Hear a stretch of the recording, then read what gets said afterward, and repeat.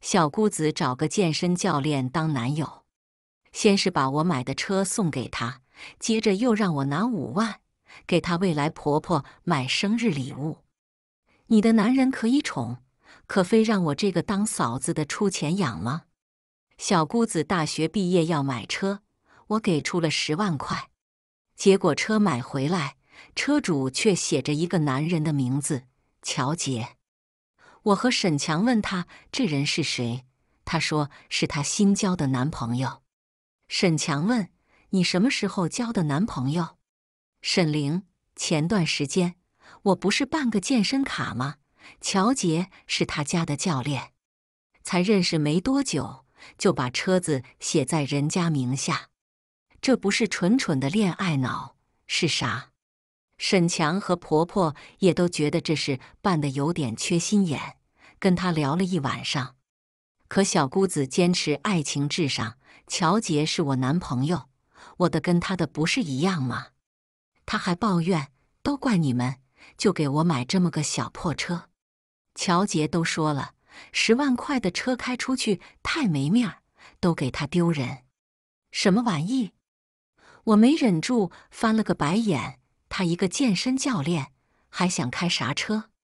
小姑子当时就不干了：“嫂子，你咋说话呢？你能开大奔，就不许我男朋友开好车呀？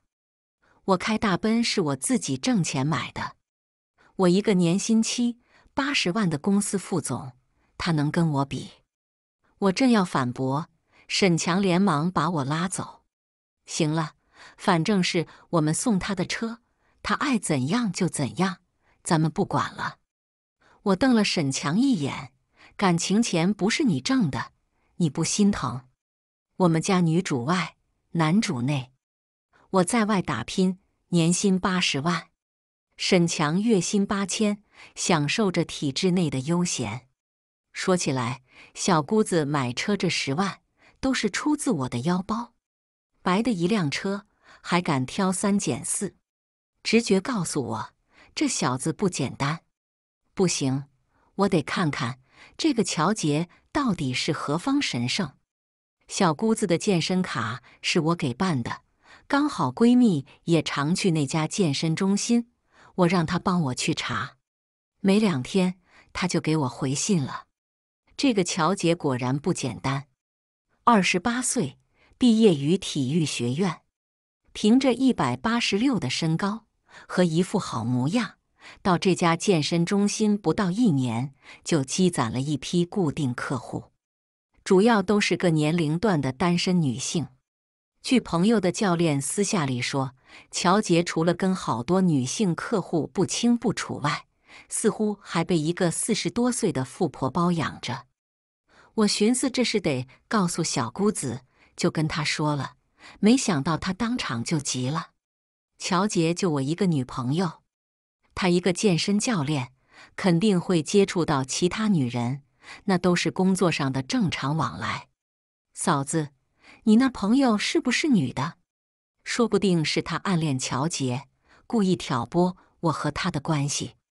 我好言好语的说：“小玲，我朋友孩子都三岁了，不可能喜欢乔杰。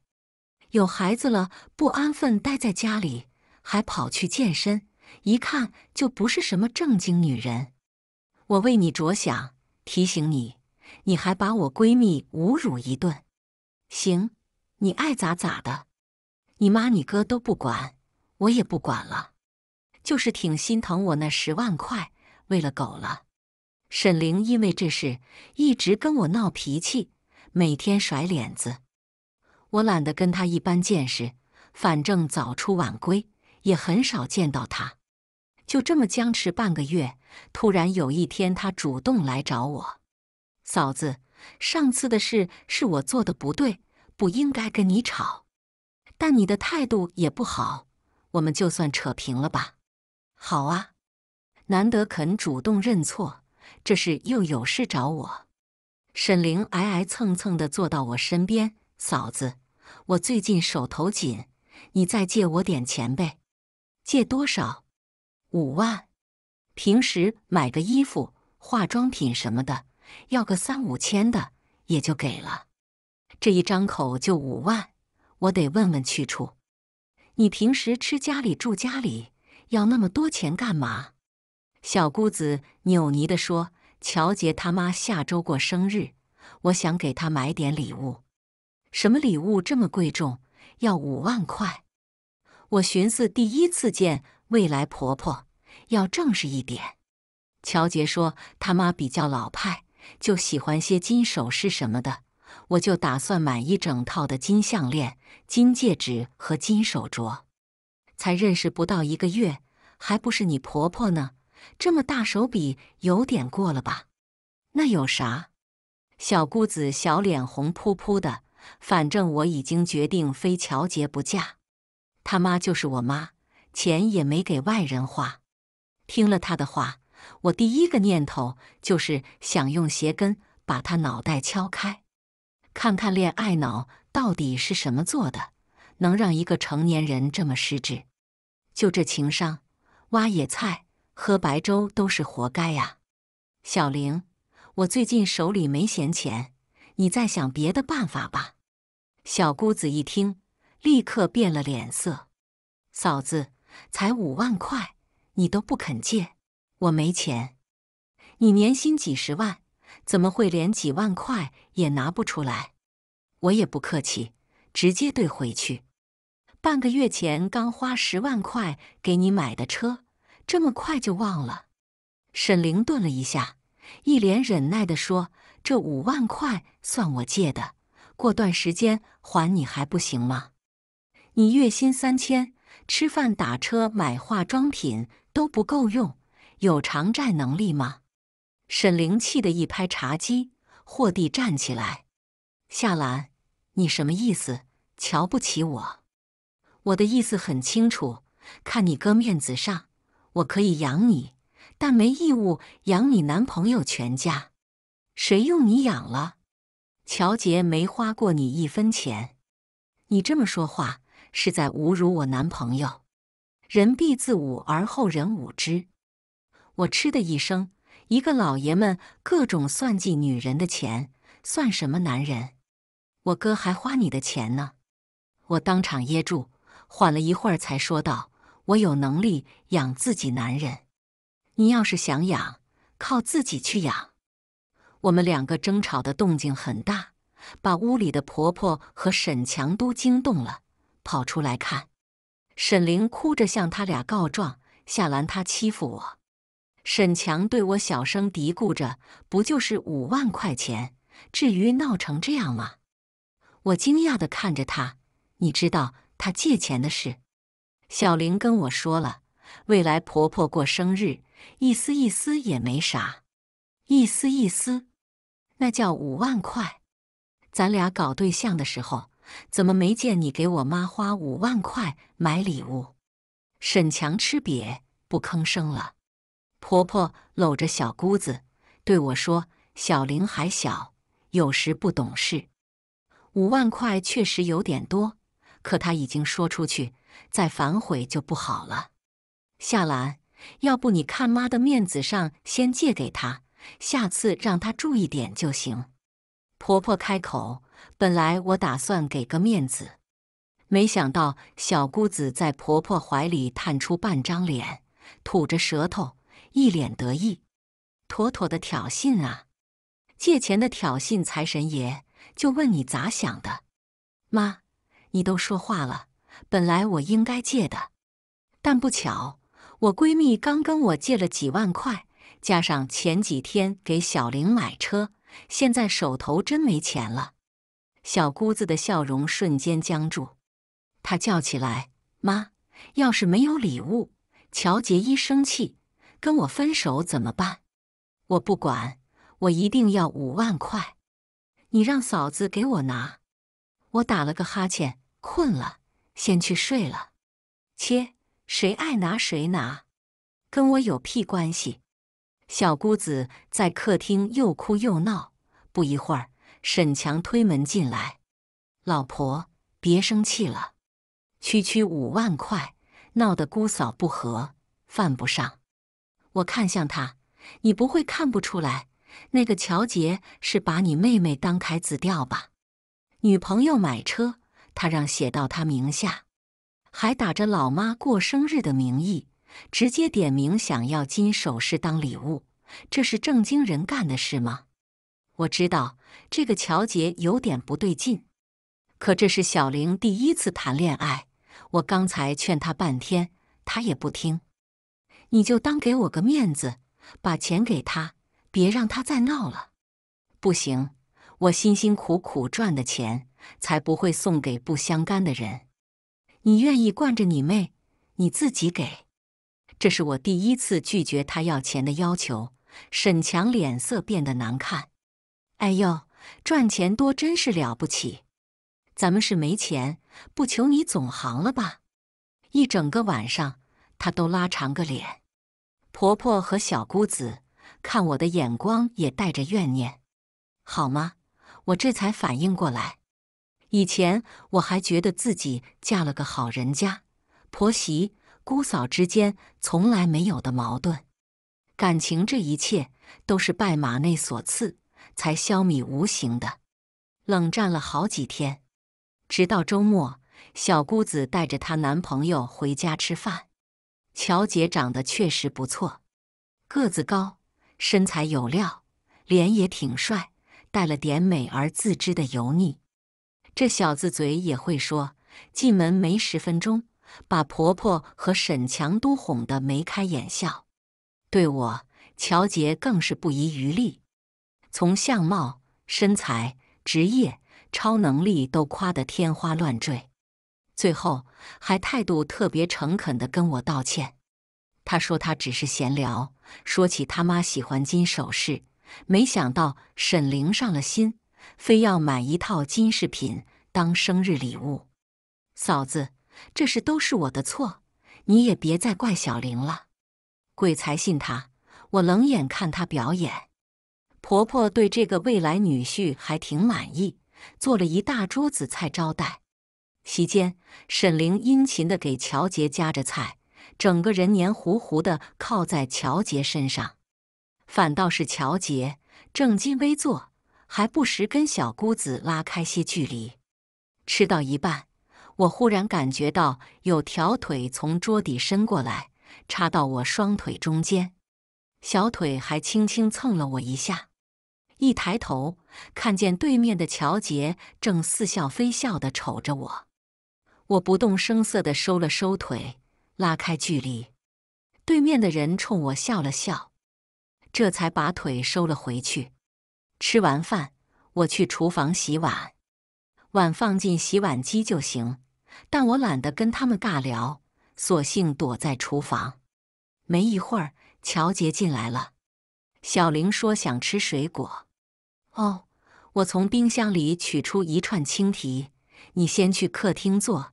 我洗完端进去，嫂子，我来帮你。乔姐挤到我身边，把提子一粒粒摘下来，送到我手边。你是客人，不用帮忙，进去歇会儿吧。我把提子抢过来，开始动手洗。乔杰没走，而是靠着橱柜，笑睨着我。嫂子，你比小玲大十岁，但身材保持的比她都好。我笑笑。没言语，这小子可能是想拍我马屁，但我觉得彼此的身份谈论这些似乎不太合适。真的，嫂子，我没骗你。他见我没说话，居然往前凑了凑。我是搞健身的，眼光绝对专业。你这八十八、六十四、九十的三围，绝对是一流的。如果这腰围再减两厘米，那就完美了。他伸手在我腰上摸了一把，嫂子，我可以为你提供一对一免费服务。他的手触碰我的一刹那，我浑身起了一层鸡皮疙瘩，差点扬手甩他一个大耳光。转念一想，这是一个绝好的机会，让小姑子认清他的真面目。虽然他恋爱脑，分不清好歹。可怎么说也是沈强的亲妹妹，看她站在火坑边上，总得拉一把。我对乔姐挑眉笑了笑：“好啊，等有机会的。”乔姐眼中迸发出惊喜，她还想再进一步。我已经端着青提进了客厅。那之后，我一直在客厅陪坐。乔杰没再找到跟我单独相处的机会。不出我所料，第二天下午，乔杰就迫不及待地约我见面。我跟他约在一间咖啡厅。嫂子，你来了。乔杰殷勤地给我挪座位。你约我出来有事？嫂子，昨天见到你之后，我一晚上没睡，脑子里都是你。我一个中年妇女，你想我干嘛？嫂子，你才比我大三岁。正是女人最好的年龄，她摆出一副陶醉的表情。你长得美，身材凹凸有致，气质更是出众，是个男人都会被你迷倒。我扑哧一笑，这些话你应该形容你女朋友才对。嫂子，不瞒你说，我跟小玲在一起，是她一直主动追我，我也以为自己喜欢他，可昨天见到你。我才明白，我对他只是像妹妹一样，对你才是一见钟情。你这么说就不怕小玲吃醋？我说的是真心话，嫂子，我真的喜欢上你了。你会为了我跟小玲分手吗？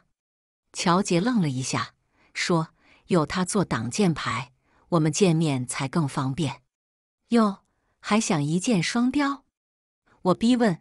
我可不是小玲那种好糊弄的小女孩，你最好说清楚。我跟沈玲，你到底选谁？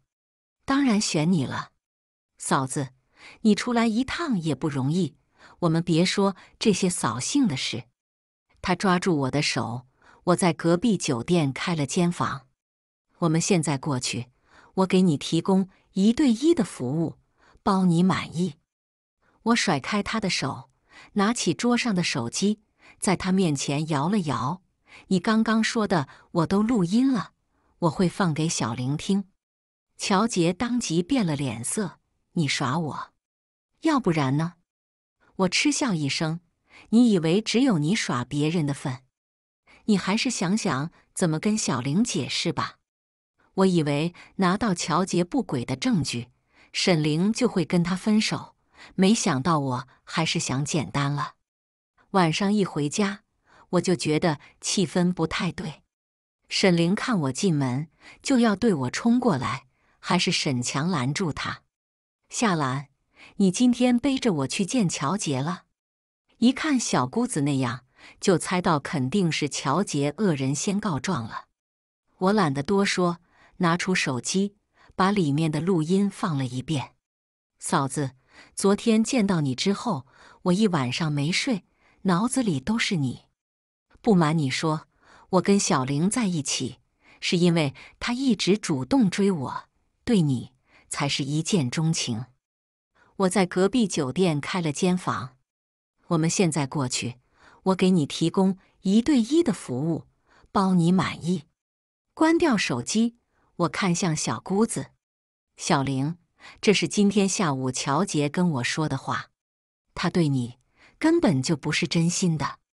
乔杰不可能这样对我，肯定是你主动勾引他。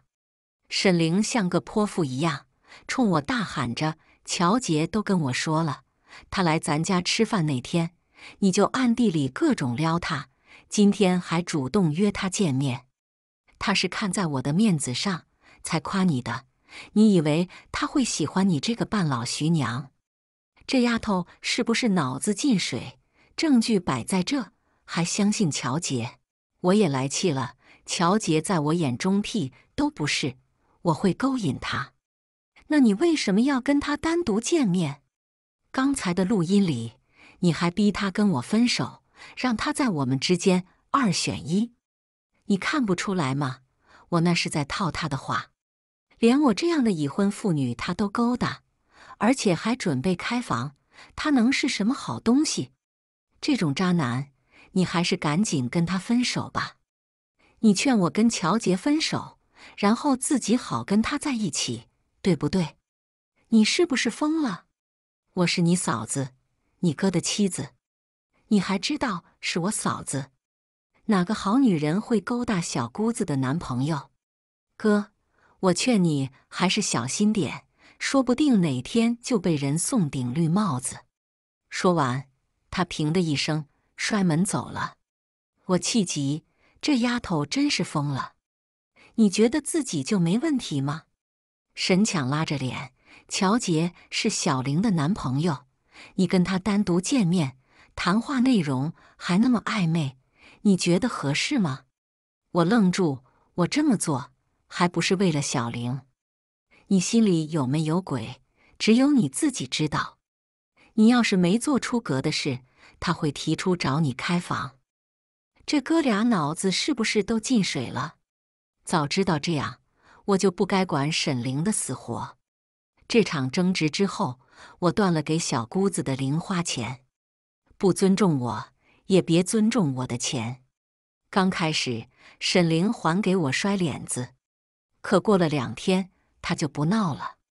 他隔三差五地带乔杰回来，故意在我面前秀恩爱，每次还拎着些大牌化妆品、换季新装和包包之类，故意在我面前显摆。有些人有俩钱，就觉得自己特了不起。哼，没有你。我一样有钱花，我就不信了。乔杰一个吃软饭的，会花钱给他买这些。有一次，我趁他去卫生间的功夫，看了一眼桌上的购物小票，付款方式那里赫然是我的信用卡号。我的信用卡有一张副卡在沈强手里。我再一查消费记录，好吗？半个月花了三万多。不光是沈凌买的这些，还有男装、皮鞋之类的，都是乔杰身上的牌子。感情花的还是我的钱，只不过以前管我要，现在改刷他哥的副卡了。问题是花我的钱还敢在我面前嚣张，不经过社会的毒打，你们哥俩也不知道人生的险恶。我直接给信用卡中心打电话。停了我的副卡，当晚沈强就来找我了。他拉着脸：“你怎么把副卡给停了？”我把打印出来的流水单扔到他面前：“我给你副卡，是因为我们是夫妻，我信任你。你自己看看，钱都花哪了？”沈强看了一眼，脸色变了又变，估计他也没想到他妹妹花钱那么豪气。小玲还小，花钱没个数。我跟她说说，下次让她注意点。没有下次，这个副卡我收回了。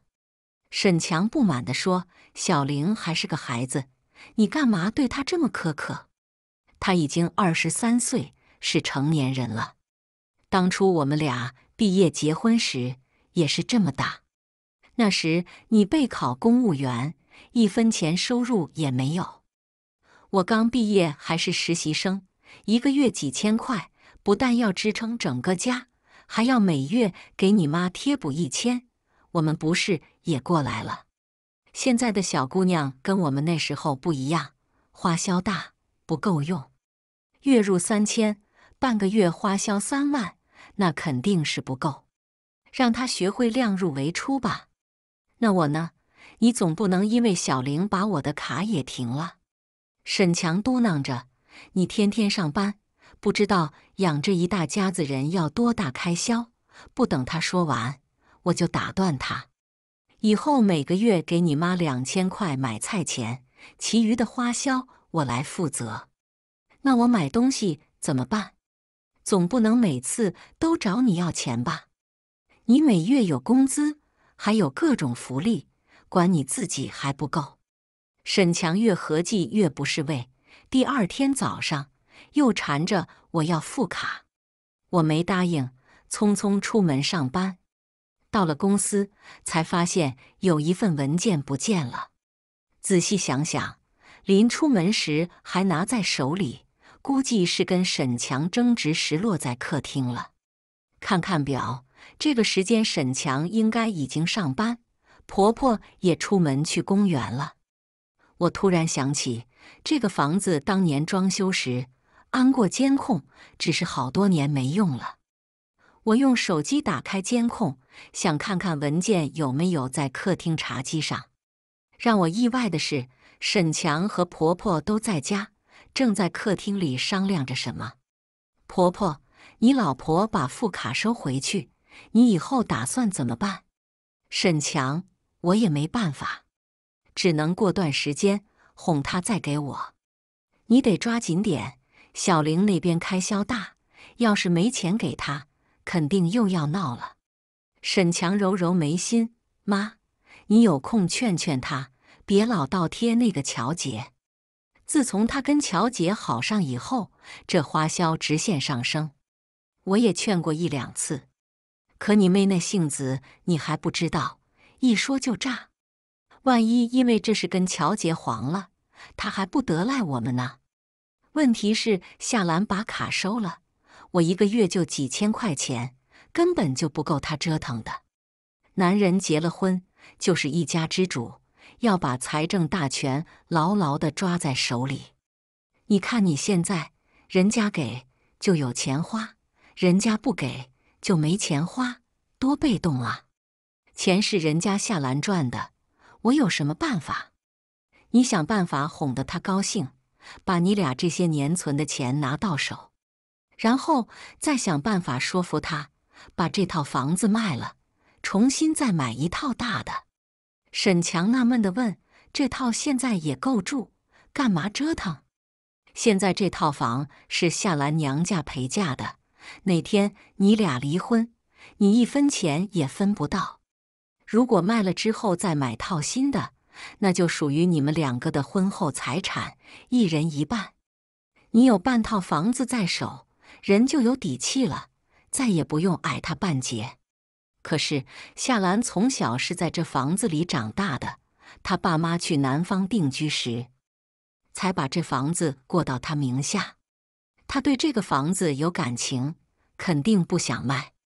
那你就想办法让她怀孕，有了孩子，肯定需要准备婴儿房，到时候他就会答应换房子了。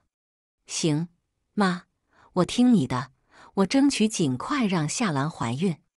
结婚这些年，婆婆对我一直不错，事不多，在外人面前也经常夸赞我。我还傻乎乎的觉得婆媳关系融洽，没想到人家背后这么算计我。眼看着监控里沈强对他妈连连点头，一脸幸福的模样，我心里一片拔凉。当天晚上。沈强就跟我说，他有个朋友在银行工作，能帮忙存高额利率的定期，想让我把家里的存款给他。我告诉他，我有朋友是国有银行老总，他朋友能拿到的，我这边更没问题。沈强愣了愣，没再说什么。接下来几天，他开始各种献殷勤，又是买花，又是送礼物。又是约我出去烛光晚餐的，其实主要目的就一个，哄我上床，想让我怀上孩子。我该收的照单全收，但别的想都别想。闹脾气闹了一个多星期，大姨妈不小心来了两回，中间的空档再安排个出差，一个月就这么混过去了。沈强着急，但也没想太多，他以为是巧合。还私下安慰他妈和他妹，说我们已经和好，他很快就能成功。小样，算计我，你们的智商够吗？这期间，我把钱和卡管得死死的，徐家母子愣是一分钱也拿不到。别人还好，沈玲可受不了了。她那个男朋友，只要不花钱，立马就给她脸子，已经半个月不跟她约会了。沈玲没办法，只能天天去健身房找他。乔杰态度冷冷的，只推说有工作，当着他的面跟别的女人亲密互动。沈玲气不过，大吵大闹，乔杰立刻提分手。沈玲只好低声下气的给他道歉。乔杰直接提出要买个小公寓，如果不能拿出二十万首付，就有多远滚多远。沈凌硬着头皮答应，还求乔杰给他点时间，简直被人拿捏的死死的。我不在现场，但这些事能知道的清清楚楚，是因为我花钱雇了一个私家侦探，让他去扎乔杰。毕竟知己知彼，才能百战不殆。没过多久，我就掌握了乔杰的全部资料，还有他跟七个不同女人交往的照片。这七个人中有一个五十岁的中年女人，乔杰管她叫红姐，明显是大金主。这一个月，他带乔杰出入高档商场几次，花了能有十几万。乔杰跟他在一起时，每次都是刻意逢迎，乖顺无比，比家养的狗还会来事。只有红姐不在的时候，他才敢去跟别的女人约会。找到正主，这事就好办了。我让人把沈凌和乔杰的亲热照片快递给红姐。接下来要办的事就是离婚。我去银行提了十万块钱，放在透明塑料袋里，当着婆婆和小姑子的面拿进卧室。沈凌天天被乔杰逼着要钱，我就不信他不动心。果然，我白天上班的时候，从手机监控里看到小姑子趁我不在家。鬼鬼祟祟的进了我的卧室，拿走了那十万块。中午，我特意回到趟家，在卧室里一声尖叫，把他们母子三人都炸出来了。沈强，我的钱丢了，十万块是不是你拿的？沈强愣了一下，没有啊，什么钱？十万块，整整十万块。我把目光转向婆婆和小姑子，妈。你和小玲看到没？没有，母女俩异口同声。家里也没外人，钱怎么会丢了？小玲，这钱我有急用，如果是你拿的，赶紧还给我。你丢钱找我干什么？沈玲翻了个白眼。我又不负责给你看钱，你确定不是你拿的？小姑子一脸不耐烦。我都说了不是。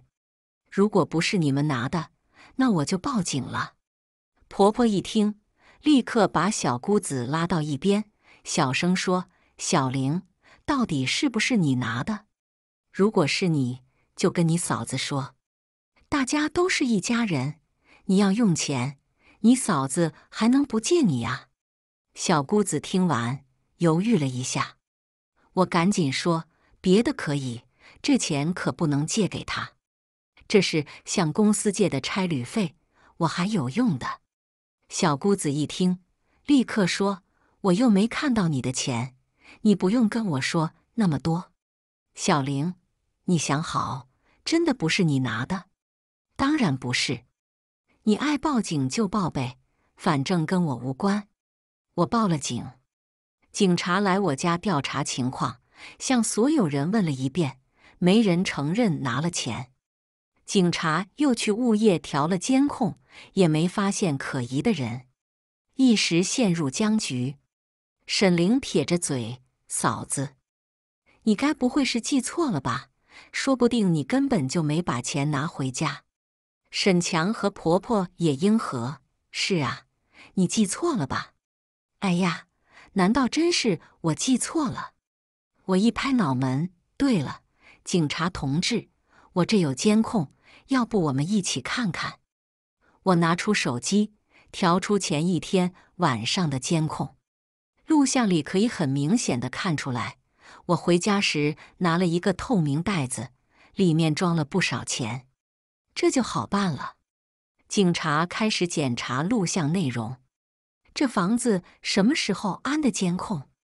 沈强脸色都变了。还是我爸妈当初装修时安的。要不是丢了钱，我都忘了这事了。沈强一听，脸色缓和下来，可沈玲的脸色就不好看了。警察把录像快进，很快就锁定了小姑子。这位小姐，你涉嫌盗窃，请跟我们走一趟。沈玲一看警察真要抓她，吓得死死抓住婆婆的胳膊。妈，我不去，你快救我！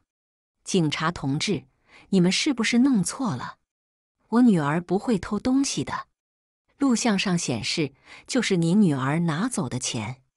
警察出示录像内容，手机屏幕上，小姑子拿着袋子往外走，透明袋子里正是我前一晚上带回来的钱。沈强也没想到他妹妹会偷拿我的钱，甚至都没跟他说一声，气得狠狠地瞪着沈凌。两位警察见沈凌不肯走，拿出银手镯，准备采取强制措施。婆婆连忙拦在女儿前面：“警察同志，都是误会呀！我们是一家人，自家人用自家的钱，怎么能算偷呢？这钱是属于你儿媳妇的，你女儿未经人家同意，私自窃取他人财物，这已经形成盗窃行为了。”沈强拉着我的胳膊：“老婆，你快跟警察说说，小玲不是故意偷钱。”她只是借用一下，回来忘了告诉你了，不是吧？刚才我才问过你们，知不知道我的钱在哪？你们不是都说没看到吗？警察不再说什么，直接把大哭大闹的沈玲带走。徐家母子还想拦着，被警察喝了一句：“你们再闹，就属于妨碍警察执法，连你们一起带回去。”警察走后。婆婆抓住沈强，一把鼻涕一把泪。儿子，你妹妹让警察抓走了，这可让我怎么活呀？沈强恶狠狠地瞪着我。夏兰，你刚才是什么意思？为什么不替小玲说话？我淡淡的说：“她偷我的钱，我为什么要帮她说话？你知不知道，如果真的定罪，小玲会坐牢的。”他偷钱的时候就应该知道这一点。就算他拿你钱不对，可我们是一家人，你不能因为这点事就让他留下案底。她还是个没结婚的小姑娘。沈强恨恨地说：“你现在立刻赶去派出所，跟警察说是你记错了，撤销报案。如果我不呢？”沈强一拍桌子：“那就离婚。”好啊。那就赶紧离！沈强愣了一下，夏兰，你不要以为我是在跟你开玩笑，我知道你是认真的。我同意，赶紧离，离完我就把你妹捞出来。沈强一下子懵了，不是，老婆，我不是真想跟你离婚，我就是在说气话，但我是认真的。我从手机上调出他们母子二人的录音，放给他听。你想办法哄得他高兴，把你俩这些年存的钱拿到手，然后再想办法说服他把这套房子卖了，重新再买一套大的。如果卖了之后再买套新的，那就属于你们两个的婚后财产，一人一半。你想办法让她怀孕，到时候她肯定会答应换房子的。行，妈，我听你的。我争取尽快让夏兰怀孕。沈强听完录音，脸都白了，扑通一下跪在我面前：“老婆，我错了，你听我解释。”婆婆过来拉他：“儿子，你是堂堂男子汉，怎么能给女人下跪呢？你快起来！”沈强甩开他妈的手：“老婆，其实你听到的都是我安慰我妈的话。”我心里并不是那么想的。我们结婚那么多年，一直感情很好，我怎么会想跟你离婚呢？我低头看着他，你是不想跟我离婚，你只是想把我的财产转移到你的名下。我嫁给你的时候，你没房没车，我就冲你这个人嫁的。你对我是真心的，什么都没有，我也可以嫁给你。但你在背后算计我的那一刻。我们之间的感情就彻底没了。沈强抱着我的腿，我没算计你，我说的那些只是哄我妈的。那卧室里的避孕套是谁扎破的？婆婆平时会进来收拾卫生，那东西我都放在隐蔽的地方，只有沈强知道。沈强，我们离婚吧！我不离！沈强叫着，抱紧我不放手。你要是不离，你妹妹就得坐牢。我给他普法，沈凌偷了十万块，属于盗窃，数额巨大，会被处三年以上十年以下有期徒刑。你怎么知道的这么清楚？沈强恍然道：“夏兰，这一切都是你设计的，对不对？”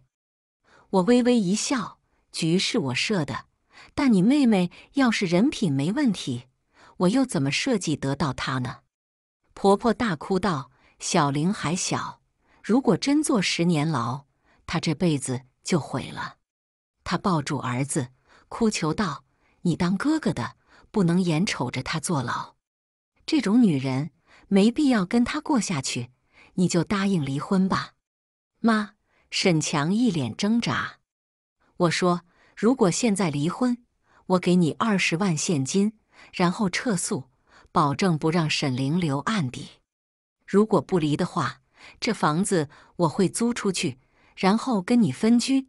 两年后法院也会判离，那时候你一分钱也拿不到。”沈强挣扎半晌。终于在他妈的哭声中答应离婚，我一刻不等，带沈强一起去了民政局，把结婚证换成离婚证，然后我们去派出所撤了案，把沈凌从里面捞出来。沈凌一出派出所大门，就对我破口大骂：“你个死女人，害我在里面遭了一下午的罪！哥，他这么恶毒，你不能再跟他过了。”立刻离婚！我笑了，放心，我跟你哥已经离完了，真的。沈凌看向他哥，太好了，哥，你终于肯为我跟他离婚了。沈强的脸色变来变去，像红绿灯一样，煞是好看。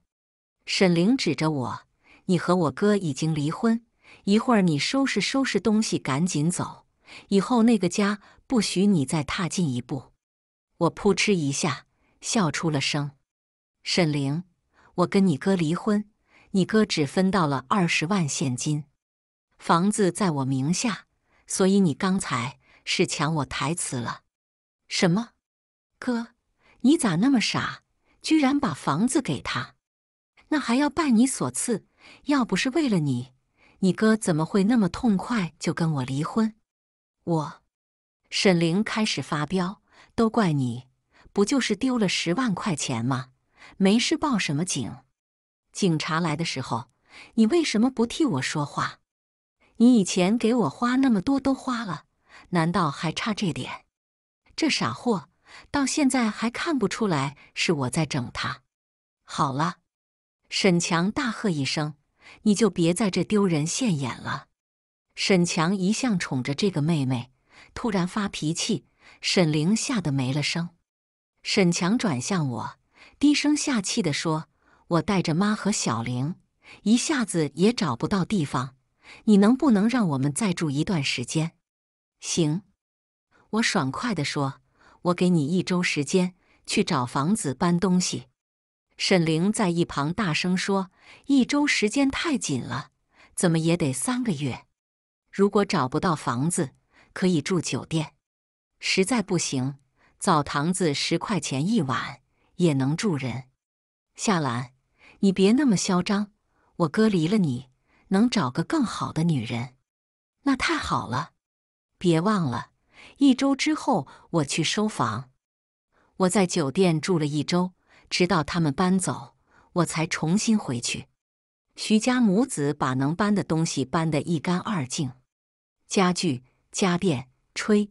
连卫生间的马桶刷都没留下，只有我的私人衣物没敢动。大概是知道屋里有监控，怕我再去告他们。这样也好，省得我动手扔了。我给保洁公司打电话，让他们派几个人上门。半天时间，家里窗明几净，焕然一新，再也没有别人住过的痕迹。我又网购了些家具。家电和日用品，直接打造成小红书上让人眼馋的单身小窝。有房有钱没男人，多少女人向往的日子。我正窝在新买的沙发里追剧，闺蜜给我打来视频：“宝子，快看，你小姑子被人追杀了！”我立马坐直身子，看她给我发来的现场直播，背景是健身房，一个穿金戴银。一身豪气的中年女人，正带着几个保镖一样的男人，把乔杰和沈凌团团围住。哟，这不是乔杰的大金主红姐吗？只见红姐指着乔杰的鼻子大骂：“给你一点脸，你就不知道自己是谁了？你就是我养的一条狗，每天负责冲我摇尾巴，哄我开心，吃我的，喝我的。”浑身上下连内裤都是我买的，居然还敢背着我跟别的女人在一起！乔杰吓得脸都变色了，慌忙解释：“姐，我不敢，他就是一个普通学员，我跟他真没啥。”乔杰，你在说什么？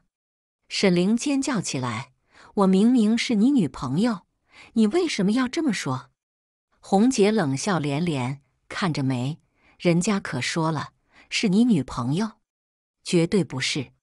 乔杰吓得连连摆手，是他暗恋我，单方面追我，我对他一点意思也没有。你干嘛要怕这个老女人？沈凌大概是觉得她男朋友被人欺负了，想替乔杰出。她对着红姐骂道：“你一个老女人，不回家带孙子，跑到这儿抢我男朋友！”你到底要不要脸？你这把岁数比乔杰他妈还大，还想跟乔杰交往，简直就是老牛吃嫩草。上了年纪的女人最忌讳别人说她老。你个小狐狸精，勾引我的小白脸不说，还敢骂我！红姐气得都快被过气了，对着几个保镖说：“看什么看？给我打！渣男贱人一起打！”几个大汉一拥而上，对乔杰和沈凌就是一顿暴揍。乔杰还挺有经验，一边求饶，一边用胳膊护住自己的脸。沈凌明显就没那个智商，嘴里乱嚷着：“你们一群大男人，动手打我一个女人，还是不是爷们？”哎呦，这死丫头还不服气？行，那就不让他们打你。我亲自打，红姐上去就是一顿大比兜，连打带挠，镶钻的指甲把沈凌的脸抓出好几条血道子，隔着手机屏幕都替她疼得慌。沈凌这才意识到自己遇到了硬茬，再也不敢嚣张，跟乔杰一起跪在地上，哭求红姐放过他们。呸！下次再找男人，把眼睛放亮点。不是谁的人都可以动的。红姐带着保镖离开，乔杰从地上爬起来，一瘸一拐的跟在后面走了。只剩下沈凌一个人留在当地，被周围的人指指点点。沈凌经过这一役，脸上留下明显的伤痕，可以说是毁容了。那以后，乔杰再也没找过她，两个人就这么分手了。沈凌又找了几个对象，都嫌弃她脸上有疤，她决定去整容。她知道他哥离婚时分了二十万，就天天找沈强要钱。要是在以前，沈强就答应了，可现在他也没钱啊。他一个月几千块的收入，又要租房，又要养活娘仨，本来就紧巴巴的。沈凌还要维持原来的消费水平，不停的买新衣服、买化妆品，银行卡里的余额眼见着变少。沈凌说要去韩城整容，张嘴就是十万。沈强为难的说：“小玲，哥现在没有那些多钱，你再等等。你离婚的时候不是分了二十万吗？前一阵子。”你说要买换季衣服和化妆品，不是拿走了两万？过段时间又到交房租的日子，又是好几万。妈年纪大了，身体又不好，我总得留一点应急的钱。那都是你的事，我不管。反正你必须给我十万块，我要去整容。沈强忍不住，终于爆发了。你以为你哥是印钞机啊？想要钱就有。我告诉你，我一个月就这几千块，没有多余的钱给你。你要想整容，自己挣去。沈强一气之下，不再给沈玲玲花钱。沈玲平时花惯了，哪受得了？天天跑去沈强单位大吵大闹。有一次，单位要参加一个重要竞标。领导让沈强带着竞标文件到现场，结果一出门就被沈玲堵住。无论沈强怎么解释，今天有重要的事，沈玲都不相信。他没要到钱，竟然一怒之下把沈强手里的竞标文件给扯了。竞标黄了，单位遭受重大损失。沈强也因为这事被单位给辞退了。失业后，沈强也曾尝试着找份新工作。他是学计算机的，想着进入 IT 行业拿份高薪。可惜他在体制内这十来年一直躺平当咸鱼，业务早就荒疏了。加上 IT 行业迭代快，他在大学里学的那点东西早就过时了。至于一些技术含量低的职位，人家宁可要应届毕业生，也不愿意要他这种三十多岁的中年人。被拒的次数多了，他渐渐失望，干脆也不出去找工作了，每天靠打游戏度日。钱婆婆看在眼里，心里着急，骂他一个大男人居然蹲在家里不上班。一提这事，沈强就满腔怒火。本来我跟夏兰过得好好的。有车有房有工作，就因为你跟沈玲把我们夫妻搅和离了，才变成今天这样。钱婆婆理亏，也不好再说什么，只能由着她去。一家人没有收入，坐吃山空，离婚时分的二十万很快见了底。这时，沈玲又交了一个男朋友，那个男人穿着名牌西装。脖子上戴个小手指粗的大金链子，沈玲说他是做生意的大老板。处了没多久，那男人就说有个能赚大钱的机会，可以带沈玲入股。沈玲回来管他妈要钱，钱婆婆一直怀念原来的生活，心动之下，把所有的棺材本都取出来，给了沈玲的新男友。结果。那男人拿了钱之后，就带着沈玲消失了。一年之后，沈玲打来电话，说她被卖到大山里。等到警察把她解救出来时，已经怀了七个月的身孕。钱婆婆受不了刺激，突发脑梗，经过抢救，人是活过来了，却成了瘫痪。母亲住院，妹妹未婚生子，沈强再也无力承受。他找到我，跪在地上求我原谅。我错了，我不该听我妈和我妹的话，跟你离婚。这段时间我已经想明白了，我最爱的人是你，我不能没有你。夏兰，我们复婚吧。我愿意跟我妈和我妹断绝关系。我微微一笑，不好意思，我要走了。你要去哪？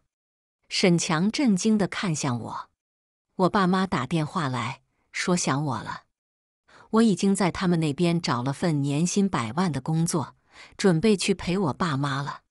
沈强抱紧我的腿，求道：“夏兰，我跟你一起去。”我一脚踢开，没有男人的日子才快乐，拜拜了您嘞。丸子还要给大家讲一个故事，云云，你就安心在这住下。你嫂子刚怀孕，没个人照顾，我也不放心呀。熟悉的声音在我耳边响起，这一次我却听到了那声音深处的算盘声。我这个哥哥算盘打得响呀，嘴上说着是我无处可归，让我在他家住下来，实际上就是想让我给嫂子做免费保姆。本来依照我二幺幺的学历出去找个工作并不难，至少能够保证让自己饿不死，并且过得舒坦。但上一辈子我听信了他的话，选择留下来，给夫妻二人做了免费的保姆。他用妈死前的话来道德绑架我。妈死之前说了，让我们兄妹二人互相帮扶着。现在你哥哥我遇到了困难，你不应该帮帮我吗？而且你上大学的学费可都是我掏的。实际上，我上大学的学费是我妈死前专门留出来的，只是被我哥提前塞进了腰包里，再从他腰包里拿出来的时候。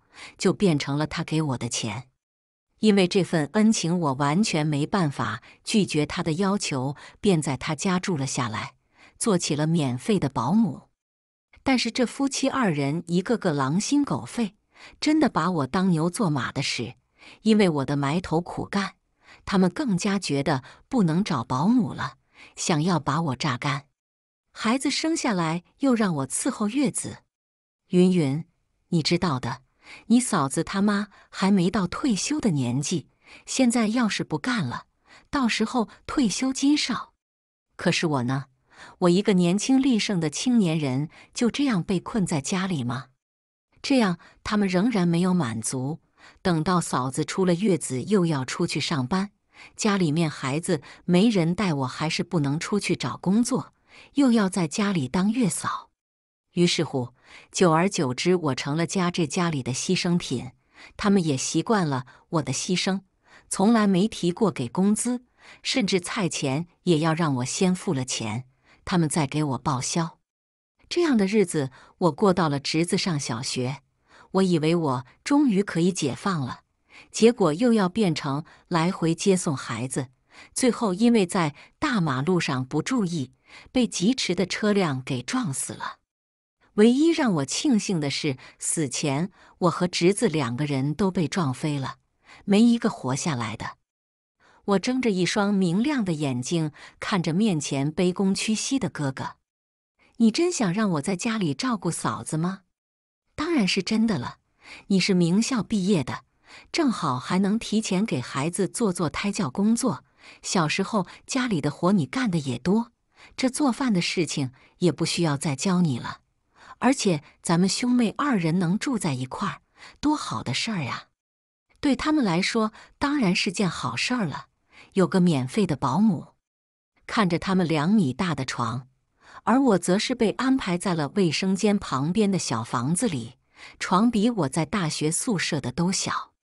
都是死过一回的人了，这一次我可不能再委屈自己。我直接指着他们的大床道：“这小床我睡不惯。”哥哥立马面露难色，嫂子只是撇撇嘴：“小姑子，你就在我们家伺候伺候人，怎么要求那么多爱？”我白了他一眼：“你也知道我是在这家里伺候你，那还不对我客气点，让我伺候白眼狼，我可不乐意。”似乎没想到我这个软包子，当场就给他们来了个下马威。嫂子眼睛都瞪大了，拉着我哥的手就开始诉苦：“林子俊，你妹怎么这个样子？”云云，我哥放大声音呵斥着我。我满不在意的掏了掏耳朵，还想不想让我在你们家做保姆了？他立马一愣，回过神来便把嫂子扯到了身后，两个人叽叽咕咕说了半天，最后强颜欢笑着答应了我的要求。呵，想让我做保姆，也要看你们有没有那个享福的命。一想到我接下来的计划，我就忍不住的勾起唇。云云，我腰疼，给我按按腰。云云，我口渴，给我倒杯水。云云，我饿了，给我拿点零食。云云，今天中午吃什么？果不其然，他第一天就拼命的使唤我。一个上午下来，我整个人都累得气喘吁吁。不过一想到我提前在墙角放好的监控，我就心情舒畅。嫂子，你想吃什么？我点外卖。什么？外卖？嫂子一副见了鬼的表情，眼睛瞪得大大的，眼里藏着无限的怒火。你是想毒死我吗？你知不知道我现在的身体根本就吃不了外卖？我肚子里可是你们林家的宝贝孙子。我隔空翻了个白眼儿。我们林家又不是什么皇室，他还以为他肚子里面的孩子生下来就要继承皇位呀？还真把自己当成皇后娘娘了。爱吃吃，不吃滚！你这是什么态度？我可是你嫂子，是你的长辈。我不耐烦的皱了皱眉头。我把你当嫂子？你才是我的长辈，我不把你当嫂子。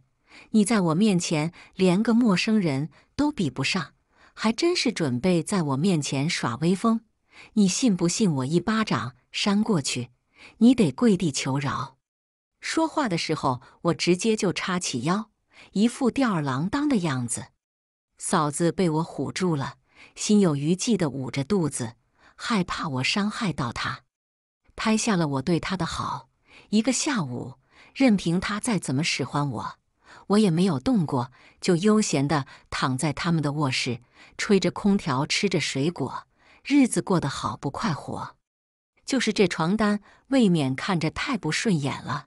想着也被他们睡过，我干脆起身把床单给揭了下来，直接就扔了出去，顺便换了身干净的新床单。正是午睡的时候，我倒头就睡下了，还是被嫂子尖锐的叫声给唤醒了。她大力的敲着卧室的门，直到我打开，这才停手。干什么？他侧过身，一副居高临下的傲气样子，眉头皱起来的时候，更是让人觉得厌恶极了。嫂子指着客厅控诉：“是不是你关了我的空调？”我点点头。曾经我给他们做保姆的时候，他可是连空调都不舍得让我吹，说什么她怀着孕不能吹风。万一伤了孩子，那我可担待不起。大夏天的，把我热的都快中暑了。当时我还可怜兮兮的问他，就不能开二十六度吗？他就直接就拒绝了我。孩子在我肚子里没生出来之前，万事都得小心。你懂什么？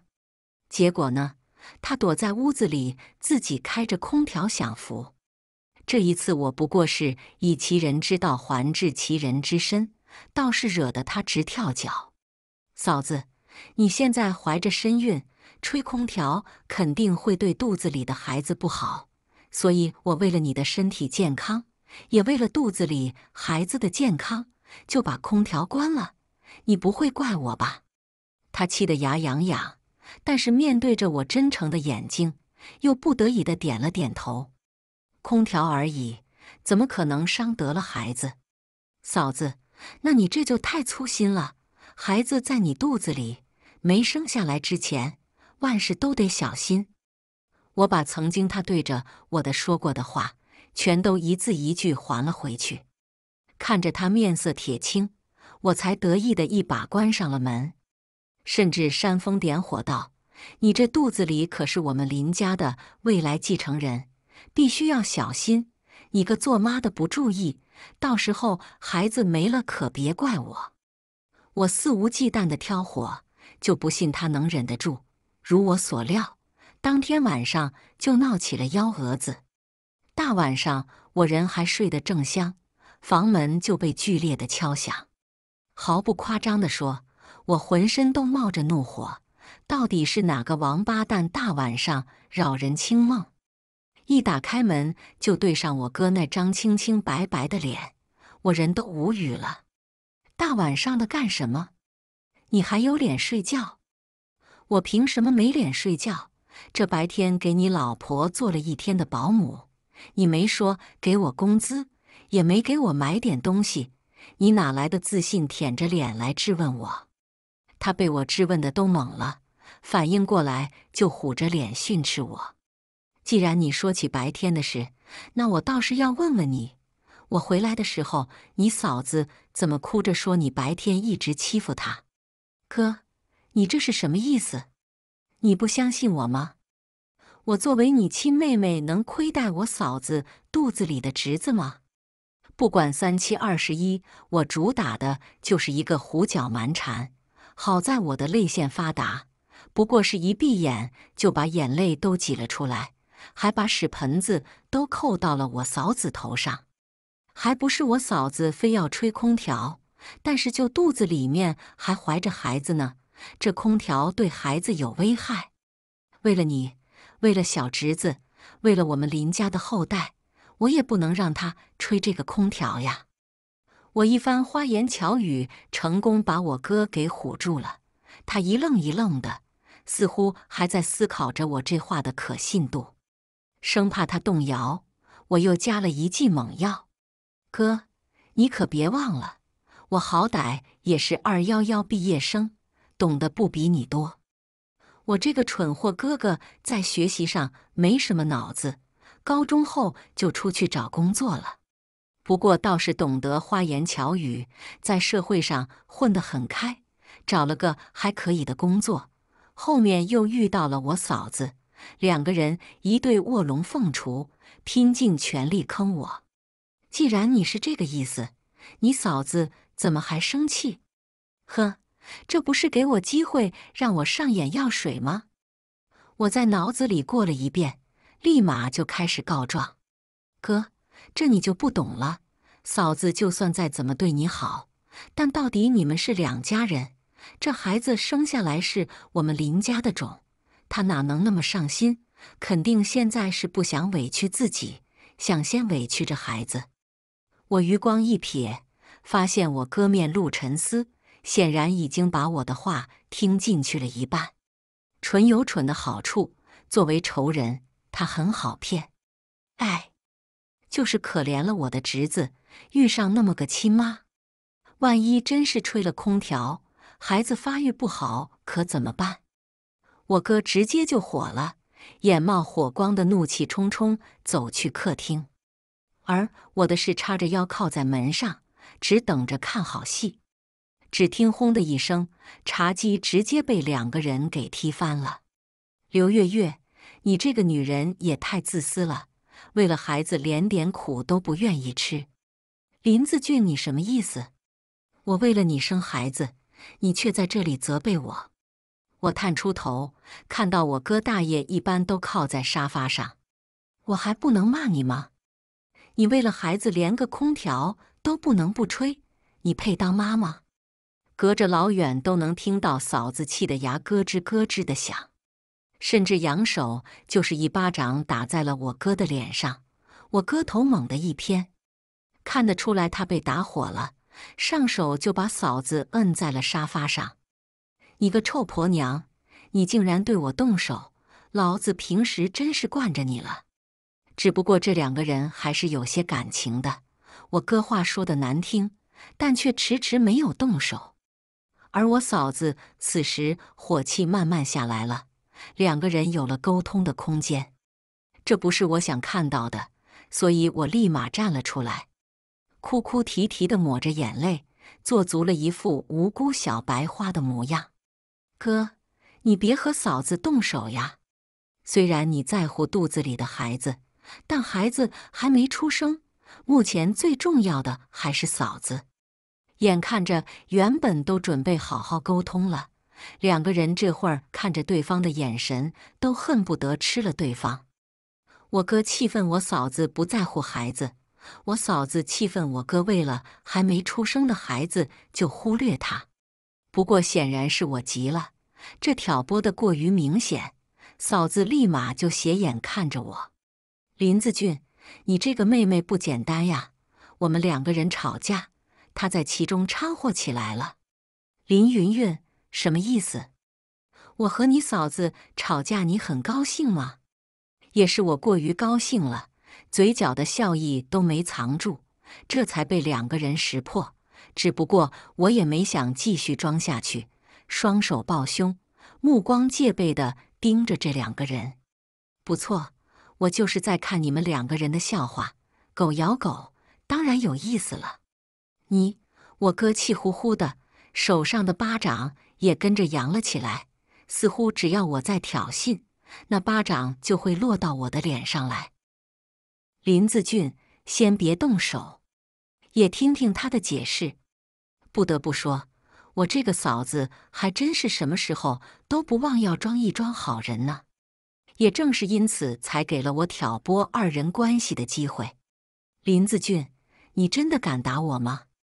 谁让你直呼我的名字的？我是你哥，妈死得早，没有好好教你怎么做人。今天就让我来教教你怎么做人。你配在我面前提起妈吗？想到我死后灵魂飘在上空中知道的一切，我现在恨不得直接一巴掌甩过去。偏偏他还以为我是那个什么都不知道的傻子，竟然还搬出妈来压我。似乎是我的气势太盛，他这才意识到不对，有些怯懦的往后退了两步。嫂子还没反应过来，只是拽住林子俊的胳膊，不让他往后退。我都知道了，你都知道了。我们两个人的声音不约而同的重合在一起。我哥很是不可思议，颤抖的伸出手指着我，那姿态活脱脱一个受害人。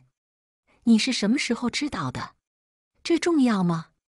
我反问他，而旁边的嫂子则是一头雾水，还不知道我和我哥在说些什么。我当然也不可能放过他，直接径直走向这夫妻二人。看着我走近，我哥不自觉地向后退了几步，最后一屁股坐在了沙发上，而我嫂子则是定定地看着我。这房子嫂子住的舒服吗？你什么意思？他不耐烦地撇起眉头，质疑地看向身旁的我哥。我哥则是躲过了他的目光，不自然地往后缩了缩。我懒得看这对夫妻做戏。这房子是我妈给我留的，那么些年让你们住着去，很舒服吧？嫂子彻底火了，她应该是信了我的话，所以才会那么生气。毕竟我妈留下来的这个房子一百多平，又大又宽敞，还位于市中心，交通便利。林子俊，你一直以来都在骗我是吗？这房子不是你妈留给你的吗？我哥不知道从哪里生来的勇气，他竟然站起来攥紧手，大声的怒斥我：“你在这里胡来来什么？这就是妈留给我的房子。”谁也抢不了。他转过身，又安抚嫂子：“你信他的话做什么？他就是脑子有病。”对着我的说话的时候，又有几分的咬牙切齿，仿佛下一秒都要咬死我。林云云，你要是再胡说八道，别怪我打你。我冷笑一声：“这狗东西占了我的房子那么多年，竟然还有脸来威胁我！”我没有说话。就是想看看他还能说出多么不要脸的话来。云云，你别忘了，这些年你上大学，可一直都是我给你交的学费。我直接就无语了。别以为我不知道，这些学费都是我妈死前给我留好的。她就是仗着我不知道，所以才把这些当成道德绑架我的原因。哥，我叫你一声哥。是把你还当成个人？这些年的生活费全部都是我兼职自己赚的。至于学费，你敢摸着良心说那是你给我交的吗？毫不意外，他犹豫了，而嫂子则是不停的用胳膊肘戳他，示意他赶紧回答。沉默其实，在某种程度上就是默认。嫂子停下了手，不可思议的看着我哥。似乎也没想到他竟然如此的不要脸。只不过这一个被窝睡不出来两种人，我也不觉得我嫂子会帮我。他叹了口气，直接就拎着包走了出去。我哥想要挽留，却被他一把甩开了胳膊，最后只能颓然的坐在地上。看着我哥这个样子，我心里是真的爽呀！这件人占了我的东西那么多年。还是我用一次死亡才得知了真相，我一定要虐死他！他也真是够不要脸的，竟然用那种生无可恋的眼神瞪着我，颇有几分演悲情古装剧的感觉。把我害成这样，你心里舒服了吗？舒服呀，那叫一个神清气爽。这还只是开始，他就受不了了。那要是到了我计划的最后一步，他岂不是要哭爹喊娘？我哥也是有几分坚韧不拔在的。明知道我已经知道了这房子的真正主人，竟然还死皮赖脸着不愿意搬走。你现在不走，到时候可别走得太快。他吊儿郎当的往沙发上一仰，满脸的生无可恋。现在你嫂子也被你气走了，我什么都没有了，我们就看谁能耗得过谁。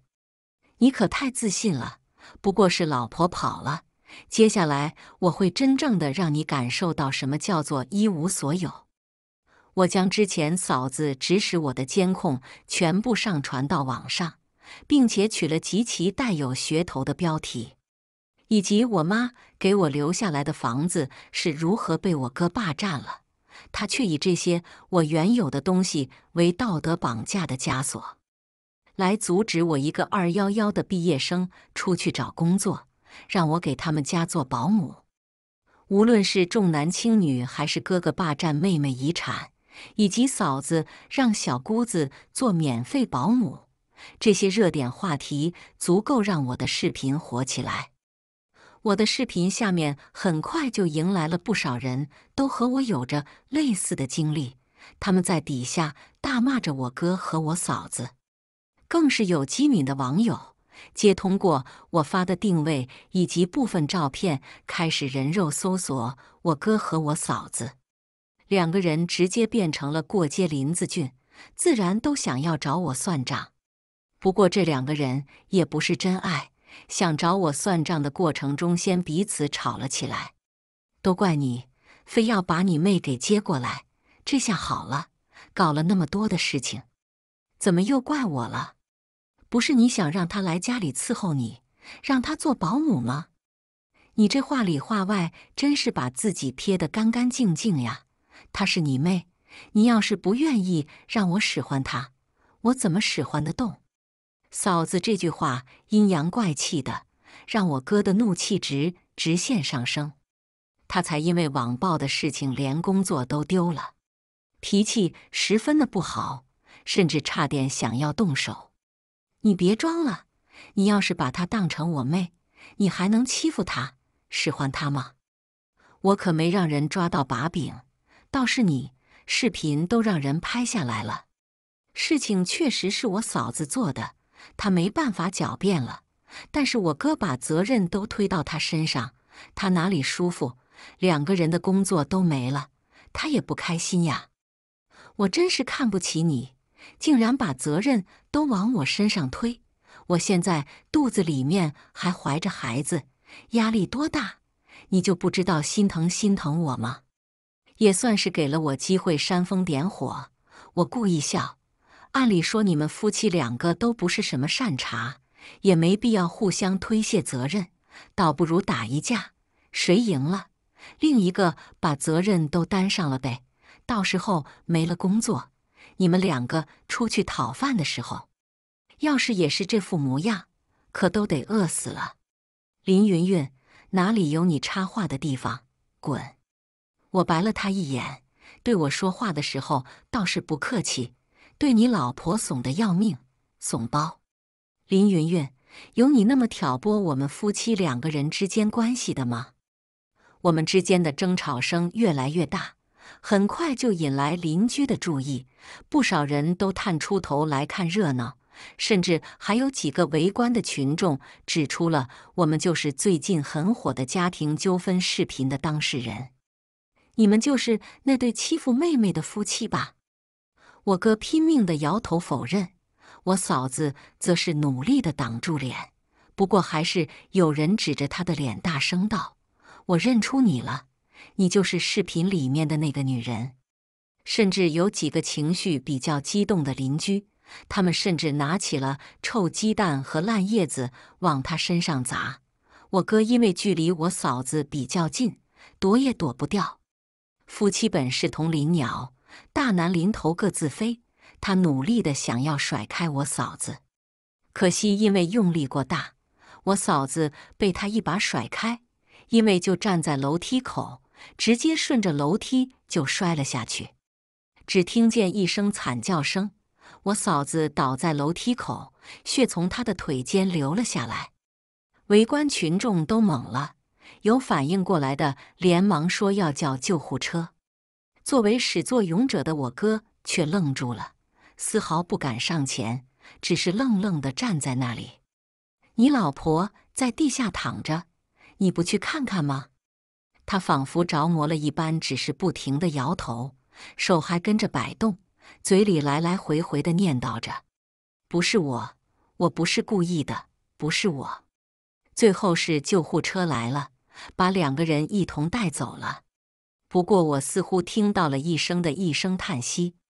当天晚上我还没睡着，就听见我哥在医院就怒气冲冲的给我打了电话：“你真是够恶毒的！你嫂子流产了，你的侄子也没了，你满意了吗？满意吗？当然不满意。他们可是害了我，丢了一条命。”如今他们失去的不过就是个小胚胎罢了，这些还远远不能让我体会到付出的快感。我当然比不上你了，这小孩可是你自己亲手杀的，关我什么事？亲手把自己的妻子推下去，还导致她流产，但凡是个有良心的，都要愧疚很久了。流产对于即将做父母的他们来说是足够的痛苦。我嫂子身体经历了这些，人在医院躺了一个多月。毕竟他当时还是有意识的，是能够感受到我哥把他给推了下去。他醒来就直接要和我哥离婚，扬言以后都不想再和我们林家人有任何的接触。原先的恩爱夫妻一到了离婚的时候，是直接撕破脸，半点也不藏了。我这个嫂子是狮子大开口，还想把家里的房子分走一半。你疯了吧？我又不是故意把你推下去的，可是你还是推了我。现在孩子也没了，我们离婚吧。我嫂子的态度很坚决，不过她也觉得自己损失了一个孩子，需要赔偿，咬紧了我家的房子不松口。这回倒是让我哥占了上风。因为房产证上根本就不是他的名字，哪里能作为共同财产呢？这也正是我让他们离婚的目的。这房产证拿了出来，能让大家知道，那上面根本就不是我哥的名字，也不是我妈的名字，而是我的名字，写着我的名字，那当然就是我的房子。我哥不可思议地看着我从他手中夺过房产证。直接就请人把他们给轰了出去。林云云，你也太恶毒了！原来你的目的是把我赶出去。这房子是妈留给我们两个人的，按理我应该占一半。我们都是妈的孩子，我应该有一半的继承权。现在倒是想起来平分了。之前他说这房子是他的时候，可没想过要和和我平分。房产证上是谁的名字，那这房子就是谁的。你就算是去法院告我，你也没有任何的优势。这一局我赢得漂漂亮亮的，仅仅只是几段视频的威力当然不够大。我继续开始还是控诉视频，把这些年的委屈全部都说了出来。随着我的视频越来越火。我哥和嫂子受到的压力也就越来越大，目前已经蔓延到两个人的工作都黄了，并且这两个人一些照片还被放了出来，路上的人碰到他们都会指指点点。原先想要远离我的两个人，自然咽不下这口气，再次卷土重来，跑到了我家闹事。林云云，你必须给我澄清，你要是不给我澄清。我接下来怎么找工作？我的名声都毁了。云云，好歹我也是你哥，你就这样对我吗？我现在工作都没了，吃喝拉撒都是问题。你如果不把那些视频删了，那我就在你家门口待着，我就看看咱们谁能耗得过谁吧。这两个人破罐子破摔，根本就没想着和我真诚的道个歉。他们永远都不知道反思自己的问题。好歹我也是死过一次的人了，知道了不少心密的事情。我手里面的把柄，但凡说出来一个，都能让这两个人死得很难看。你大可以就在这里待着，我也可以选择报警。还有嫂子，你都准备和我哥离婚了，也就别想着这房子了。反正无论如何是轮不到你的，想让我帮你澄清，做梦去吧！我可记得清清楚楚的，当初我想要出去工作的时候，他义正言辞的拦着我。妹妹还出去做什么工作？你在家里带孩子能发挥更大的价值，更何况你都好久没出去工作了，也找不到什么好工作，与其浪费时间、浪费精力。不如在家里好好培养你小侄子。这一次，我也要让他永远、永远没办法找到工作，只能困在家里。你现在的名声彻底毁了，没有哪家人愿意用你这样的人。这两个人也真是有意思，竟然还没有真的离婚。我这嫂子也是信了我哥给他灌的迷魂药，觉得两个人但凡使劲的扒拉着我。就能从我身上扒拉到东西。实际上，我厌恶他们，厌恶的要命。我就算把财产都捐了，我也不可能给他们。你这心思太恶毒了。我没有工作，就相当于没有了任何价值。都是女人，你怎么那么的狠心？活久见呀！当初他可是把我死死的困在了家里，连我哥这个抠门的人想让我出去赚钱。他都不同意。原来他自己也清楚，没有了工作就没有了价值。他就是想让我没有价值的活着。我都不知道我们两个之间的仇怨竟然那么深，值得他这样对我。他和我哥都没什么学历，仗着运气好找到了还可以的工作，如今被开除，哪里还有那么好的运气？现在的人都看重学历。我突然灵机一动。所以，是不是他一直都嫉妒着我的学历呢？嫂子，你一直以来都很嫉妒我吧？你嫉妒我考上了大学，以后可以靠着学历找到份还不错的工作，而你呢，不过是高中毕业，没了原本的工作，现在出去甚至没人要你。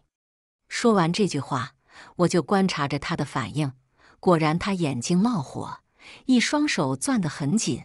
好像一旦忍不住，就要上来扯我的头发和我决一死战。我心里竟然觉得有些悲哀，不过是嫉妒，他就把我害得那么惨，榨干我的价值，又让我失去了生命。而我哥他是贪婪了，他试图霸占家里面的房产，在我不知道一切的情况下，道德绑架我，又想让我给他做免费的保姆，嫂子。其实孩子没了，你应该很开心吧？我冷不丁的开口，让这两个人俱是一愣。反应过来，我哥满脸疑惑的看着嫂子，而嫂子则是惊讶的瞪着我。他话都说不利索了，但是却仍然胡搅蛮缠的质疑我：“林云云，你又在说什么胡话？把我们两个人的工作都害了，现在还有脸提你的侄子？”我当然有脸提了，这孩子是被他的亲生父亲给推没的。话一出口，我又捂住嘴巴，故作一副不小心说出口的样子，阴阳怪气的解释：毕竟这孩子是不是亲生的都不一定呢。我上一世后面死了灵魂，一直围绕在他们身边，才知道原来我这个嫂子当时最先是有个初恋的。但是因为那个初恋家里面看不上他，最后才退而求其次的找了我哥。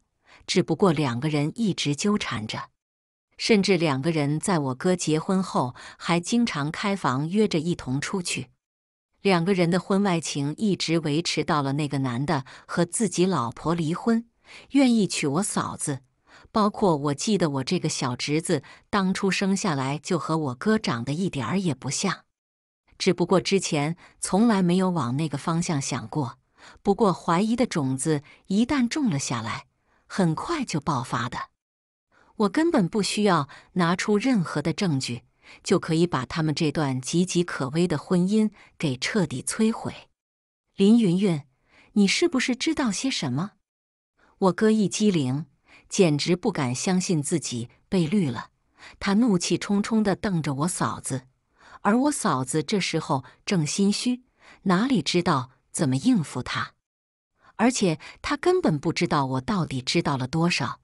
所以很有可能他的谎言刚一说出口就被我给拆穿了，整个人都显得非常的不安。林子俊，你听我解释，事情不是你想象的那样的。你解释，我听着你告诉我事情到底是什么样的。他语塞了，根本就说不出话来，一切似乎不言而喻。我哥颓然的倒在了地下，哥。被人戴了那么大的绿帽子，难不成事情就这样算了？这样的冷处理可不是我想看到的局面，所以我立马出声挑拨。我哥不是个窝囊废，但实在懦弱，竟然做了许久的心理准备才上去对我嫂子动手。我人都看呆了，好在我嫂子不是个善茬，虽然他只是轻飘飘的抓了抓我嫂子的头发。我嫂子却像是打了鸡血一样，反手就攥住我哥头上不多的毛发，硬是把他摁在了沙发上，两个人扭打在一起。林子俊，你现在不得了了，竟然敢对我动手！你个臭婆娘，你竟然敢给我戴绿帽子，老子对你还不够好吗？我哥说话的声音还带着哭腔，其实他多少应该还是喜欢我嫂子的。不然也不至于两个人搭伙搭了那么久。这真心给错了人，就注定要付出代价。最后刀子被猛地扎进我嫂子的身体里时，我哥和他都镇住了。两个人情绪上头打了起来，但是丝毫没想到会动起凶起来。我哥更是不敢置信的看着自己手里的刀。我我没想杀人的。他颤抖着爬了起来，而那刀子实在是扎得太深了。我嫂子已经满脸痛苦的闭上了眼睛。哥，你杀人了！我冷静的向他阐述事实，却让他愈发的冲动。他一把就扔开了手里的刀子，拼命的摇晃起了我嫂子。老婆，你醒醒呀！我不是故意的，我没想要害你呀。老婆，你醒醒！我不想杀人，但是我嫂子已经没了什么气息，从头到尾我都没有靠近，除了那刀子是我特意放在二人面前的，一切都和我没有任何的关系。我没想杀人，云云，你替我作证，我从来没想过要杀人的。哥不用狡辩了，我亲眼看着你把那刀子扎进了嫂子的身体里，你杀人了，杀人偿命。不，我没有。他大声的吼我，完全不愿意承认眼前的事实。不过一切都已经发生，我的仇人一个死了，一个是杀人凶手，这就是最好的结局。哥坦白从宽，抗拒从严。你去自首吧，或许还有回旋的余地。他都杀红了眼，根本听不进去我说的话。猛地从我嫂子身上把刀拔了出来，我眼睛一闪，顿感不妙，直接冲进了卧室，把门给反锁。果然，他先是提着刀疯狂地敲击我的门，没敲成功后，又开始放狠话：“林云云，都是你毁了我的家庭，我要让你死！哥，你该明白的，从你贪掉了我的房子那一刻起，我们就不是兄妹了。”你就是个自私自利、薄情寡义的人，你根本什么人都不在乎，所以你才会手起刀落的杀了嫂子。你会得到报应的。我不是，都是你们逼我的。在他说话的时候，我已经拨打了幺幺零的报警电话。他这样的人自私到了极致，就连把人都杀了，还觉得自己没有任何的错。所以能够制裁他的只有法律。只是仅仅让他接受法律的制裁，那怎么够呢？我忍受的痛苦是他们的一万倍。哥，我已经报警了。你竟然报警？你信不信我现在就杀了你？隔着一扇门，我有信心他没办法奈我如何。哥，如果你还想逍遥法外，就赶紧跑吧，不然等警察来了，你这下半辈子等待你的可就是牢狱之灾了。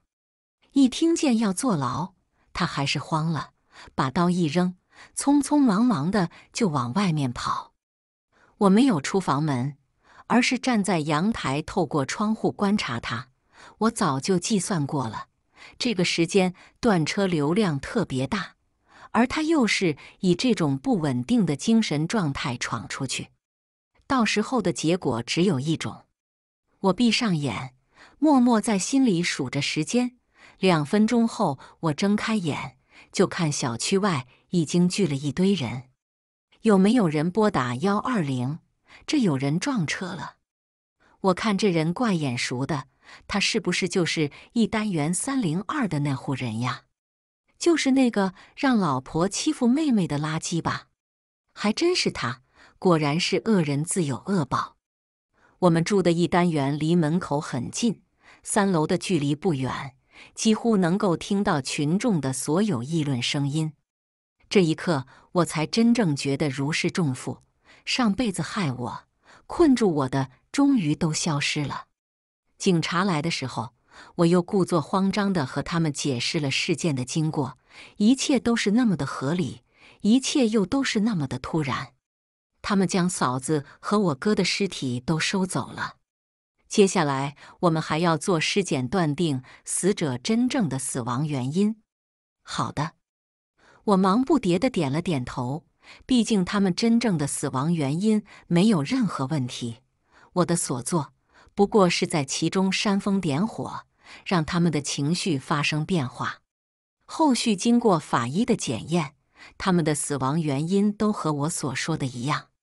事情彻底结束，我把房子卖了出去，拿着钱去到了另外一个没有人认识我的地方，在那里我将开始一展新的人生。我不会再困在家里。我选择去大企业找个工作，做了一名职业女性，这才是我真正想要的生活。我很开心，在这里，我将开启一段崭新的人生。过去的种种不过烟消云散，拨开云雾见光明，属我的光明就在前方。